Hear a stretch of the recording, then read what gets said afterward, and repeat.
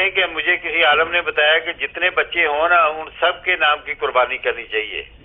اور جو افورڈ کر سکتا ہے ہاں۔ سب کے بچوں کے نام کی قربانی کرنی چاہیے بلکہ ایک نبی کریم صلی اللہ علیہ وسلم کے نام کی بھی۔ چلو دو حصے ہو گئے ایک نبی علیہ السلام والسلام کے نام کے اور ایک بچوں والی کے الگ الگ۔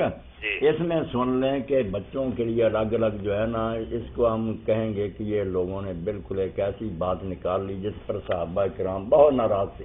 حدیث پاک میں آتا وہ یوبن ساری نے کہا ہے کہ ایک بکری پورے خاندان کی طرف سے کافی ہوتی تھی حضور کے زمانے بے شک وہ سو۔ یہ لوگوں نے کہاں سے فخر و مباحت کی بات نکال لی کہ اپنی نمائش کرتے ہیں دولت کی؟ کہ اتنے کرتے پھرتے پورے کنبے کی طرف سے ایک جانور کافی ہوتا اور حضرت عنہ جب جانور لیتے تو گھر والے کہتے ہمارا. انہوں نے کہا میرا بھی ہے تمہارا بھی ہے. یہ کیا ڈونگر چاہ رکھا کہ تمہارے الگ ہیں ان کے الگ تو یہ تو قصہ کرے ختم۔ بیٹے کتنے ہیں ماشاءاللہ زندہ رہیں۔ ٹھیک۔ یہ نہیں کرنا چاہیے کہ یہ فلاں کا یہ فلاں کا جو آپ کر رہے ہیں سربراہ۔ وہ پورے بچوں کا بیوی کا بھی سب کا۔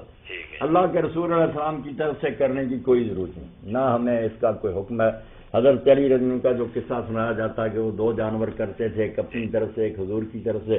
اب اس میں بھی آتا ہے کہ انہوں نے کہا حضور میں نے مجھے وصیت کی تھی مگر یہ کہانی ساری بے بنیاد ہے۔ جی۔ ضعیف سی، میں بھی انتہا درجے کی ضعیف۔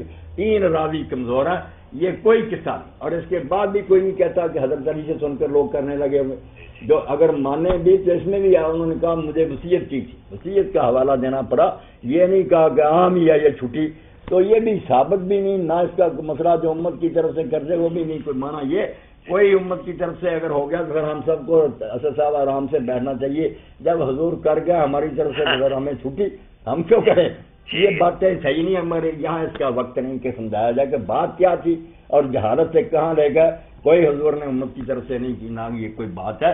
آپ صرف اپنی طرف سے اور اپنے بال بچوں کی طرف سے کرتے۔ ٹھیک ہے بہت مہربانی جی۔